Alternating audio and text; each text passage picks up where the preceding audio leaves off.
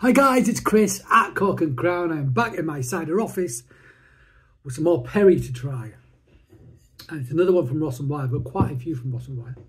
So forgive me, or don't forgive me. Why should you give me? It's great. Got lots of Ross-on-Wye to try. This time it's a Perry. Slightly unusual Perry as well, actually. It's certainly not one I've had before. Uh, I'm not sure it's one that anybody could argue that had before, actually, because what it's called is Speckled Russet. Uh, unknown pear Perry. How's that? How's that? Cool, huh? Um, 6.7%, pressed October 2022, bottled August 2023, batch F9. It says on here, sparkle, uh, about speckled russet is a name we gave to this unidentified pear. The fruit was handpicked by Mike and Dawn Manning for us on a farm a little over 10 miles away. The name has been lost, and the pears looked unlike anything we have ever seen before or found documented. However, it is delicious and satisfying to drink with texture, tannins, a hint of pepper, and a touch of juicy sweetness. Cool. How about that? How about that? I do like that. We don't know what it is. We'll just call it something and it tastes delicious. Let's just drink it anyway. Cool. The fact that pick it, press it, taste it, go, actually, that's quite good. It's pretty cool. You know, because why would they bother? You know, why would they bother when they don't have to? They've got lots of other things to do, but they did bother, and so we have this fab drink to drink.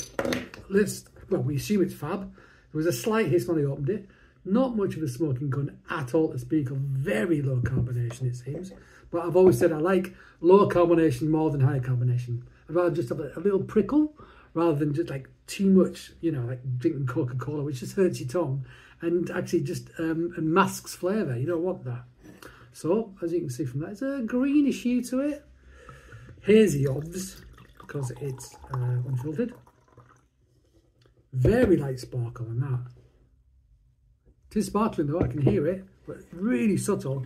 But actually, I can smell this already, I think. I'm just going to stick my... But there's the colour, say pardon me. Colour, there it is properly. There you go. Look at that. So, yellowish, sort of greeny hue to it, almost like it's, it's sort of very faintly gold, but with a hint of sort of lime about it, I would say. Let's smell it. Hint of funk, just a hint.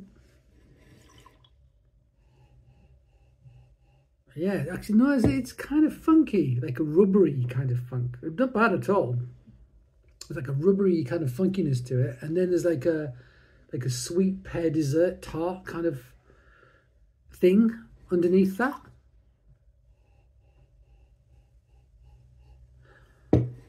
smells good. Smells nice. I like the smell. It's great. It's interesting. It's intriguing. Yeah. It's like there's maybe maybe it's like sort of um, oh, sulfurous sort of smell. But please do not let that put you off because actually I think it smells really interesting. And actually that's dissipating and the pear things coming more to the fore as it sits and it's open and that'll probably evolve as it, you know, long after this video's sort of completed as well. Yeah, yeah. All right, let's try it.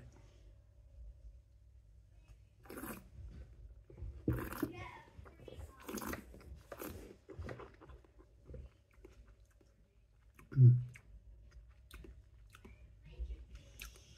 Much more pear character on the palate than there was in the nose. Quite nice. Fruit, actually, mouth-watering, kind of fat. Ripe fruit, I want to say. Um, low acid, minerality, hint of tannin, that sort of skin-like character, like I associate with russet. I'm getting that on my mouth, but it's more like a, a russety skin thing than like a tannic thing. If that makes any sense to anybody other than me. It makes sense to me. Um, mm.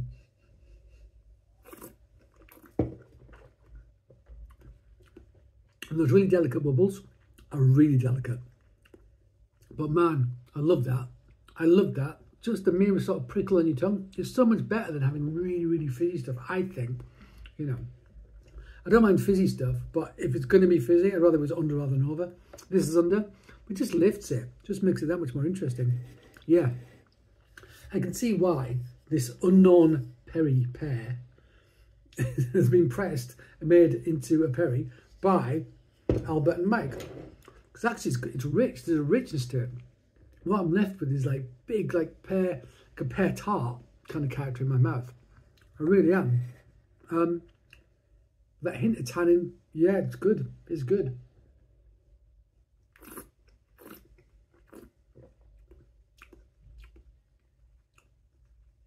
Yeah, minerality down the middle of my palate. It's good. It's good. How interesting is that? How interesting is that? How interesting is that? I'll tell you how interesting. Very interesting. That's how interesting it is. Yeah, we like we like the speckled russet. We like it, and it's a good job because I got a case, which is on the website. and You can order some if you want to try it for yourself. So speckled russet, russet, unknown pear, perry from Ross-on-Wye. We like, we like. So thank you for joining me in my office.